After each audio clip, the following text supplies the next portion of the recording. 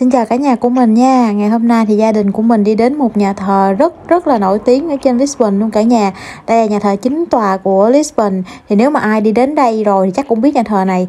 Đáng lý ra gia đình của mình phải đi đến nhà thờ này đầu tiên á cả nhà. Nhưng mà lay hoay lay hoay đi mấy nhà thờ kia, chưa có đi đến nhà thờ này. Nhà thờ này rất là cổ rồi cả nhà. Từ thế kỷ thứ 12 đến bây giờ rồi cả nhà. Để bây giờ mình quay một vòng nhà thờ cho cả nhà cùng xem nha. Ở đây là phía bên ngoài của nhà thờ nè cả nhà. Nhà thờ này còn được gọi là nhà thờ Xé hoặc là nhà thờ Lisbon cả nhà. À, đây là một trong những nhà thờ mà đã du hành qua gần cả ngàn năm à, thế kỷ cả nhà.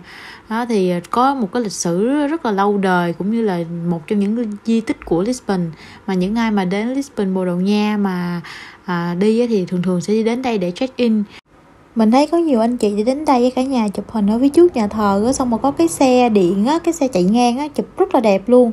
Nhưng mà hôm nay là gia đình của mình đi đến đây á, cả nhà, tại vì trời cũng lạnh với có em bé nhỏ nên là mình đến đây để quay phim cho cả nhà cùng xem thôi. Mà hôm nay là ngày chủ nhật nữa, mà thường chủ nhật hay có thánh lễ, không có được vào bên trong quay phim đâu cả nhà.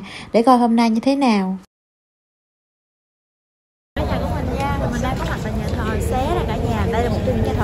Tí ở Bồ Đào Nha luôn cả nhà à, thì à, hôm nay thì mình sẽ đi vô trong hiện tại đang có giờ lễ cả nhà cho nên là không có được quay phim. Và mình sẽ đợi một xíu nữa thì mình sẽ vô trong một quay phim cả nhà cùng xem nhà thờ à, này từ thế kỷ thứ 12 cả nhà. Ok mời cả nhà theo mình nha. Cả nhà xem video clip lần trước của mình á, thì có thấy là mình quay về nhà của thánh Antonio cả nhà là thánh An Tôn á. Thì uh, nhà thờ này là nhà thờ uh, nằm ở phía đằng sau nhà của thánh An Tôn luôn cả nhà. Uh, thì uh, nhà thờ này là nằm trên một cái khu phố uh, uh, có tên là À, Afama không biết là có chính xác không? Thì mình sẽ để cái tên ở bên cạnh cho cả nhà cùng uh, tìm hiểu thêm thông tin nha cả nhà. Uh, cả nhà có thể nhìn thấy cái những cái phím đá của nhà thờ xây này rất là cổ rồi. Nhà thờ thì cũng đã được xây dựng lại uh, vài lần cả nhà. Tại vì sau cái trận động đất năm 1755 á cả nhà thì nó cũng uh, có một hư có cũng có những cái uh, hư hại. Nhà thờ cũng được nằm trong uh, di tích của quốc gia cả nhà. Tại vì được xây dựng từ thế kỷ thứ 12 mà được uh, vị vua, gọi là giống như là đầu tiên của Bồ Đào Nha xây dựng là nhà vua Alfonso nó cả nhà. Cho nên đến đây sẽ cảm thấy được cái không khí của lịch sử ngày xưa. Đây là cánh cửa đi vào trong nhà thờ là cả nhà, rất là to, nhưng mà cái cửa đi vào thì rất là nhỏ, một bên như vậy. Hiện tại ở bên trong đang có thánh lễ, cho nên là không có cho du khách vào bên trong. Nhưng mà may mắn sao mà cái chủ bảo vệ nhà thờ thì cho gia đình của mình vào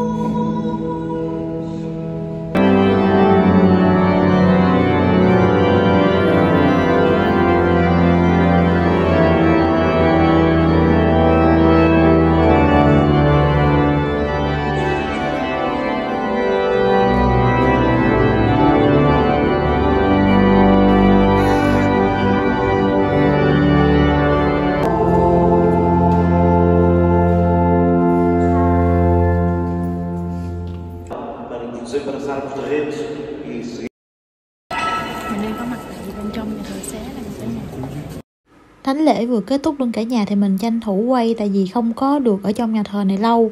Thánh lễ tan là mọi người đi ra là coi như là chú bảo vệ đóng cửa luôn cả nhà, cho nên mình tranh thủ quay. Chứ nhà thờ rất là rộng, có thể đi lên trên nữa, nhưng mà hôm nay thì chỉ có thể quay ở bên dưới cho cả nhà cùng xem thôi theo mình tìm hiểu cả nhà thì nhà thờ được xây dựng theo nhiều phong cách khác nhau. Đầu tiên là phong cách La Mã tại vì cái thời thế kỷ thứ 12 cả nhà.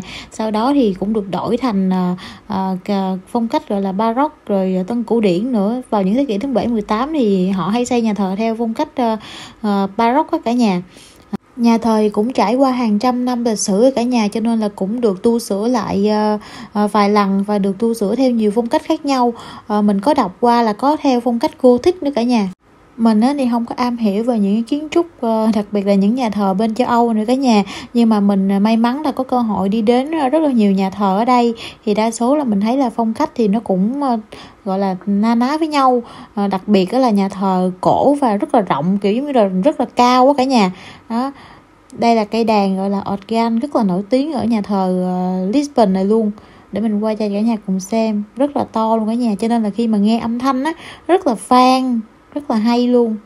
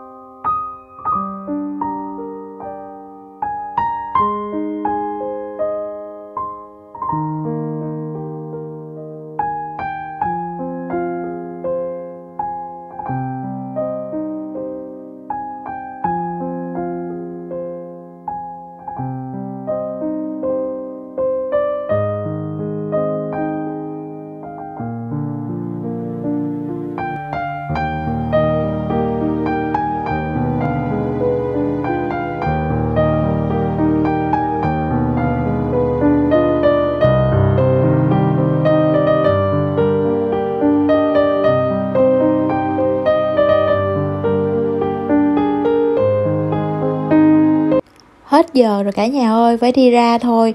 Tại vì hôm nay chủ nhật có cả nhà cho nên là có theo giờ nữa không có được đi quay vòng vòng. À, hôm nay thì rất là may mắn khi đến ờ, à, được à, đến à, tham quan nhà thờ một trong những gọi là di tích quốc gia.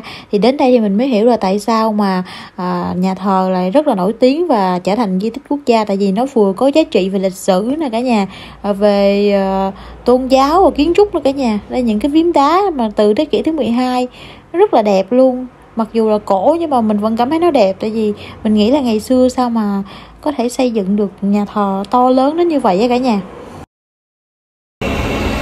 Sau lưng mình đó cả nhà là nhà thờ xé cả nhà là một trong những nhà thờ chính tòa rất là nổi tiếng ở trung tâm Lisbon luôn rất là nổi tiếng ở đây. À, mà hôm nay mình đi ngày chủ nhật đó cả nhà cho nên là không có may mắn không có được ờ, vào trong quay nhiều tại vì uh, ngày chủ nhật đó thì chỉ dành cho thánh lễ là cả nhà thì 3 giờ chiều mới có giờ bắt đầu là phiến thăm cho khách du lịch thì hôm nay là mình đi thì mình không có biết cho nên là à, bây giờ chỉ quay được tí xíu cho cả nhà cùng xem thôi. Thì mình hy vọng là video clip này cũng sẽ ờ, giúp cho cả nhà có thêm một cái uh, thông tin những cái uh, hay ở Lisbon, Bồ Đào Nha để cho khi mà cả nhà đi đến đây thì cả nhà có thể viếng thăm nhà thờ này nha cả nhà nha. Ở ngoài chụp hình rất là đẹp luôn nhưng mà hôm nay đi có em bé nữa và lạnh cho nên là mình không có thời gian nhiều cả nhà. Hẹn cả nhà ở video clip tiếp theo nhé Nói tạm biệt cả nhà. Bye bye.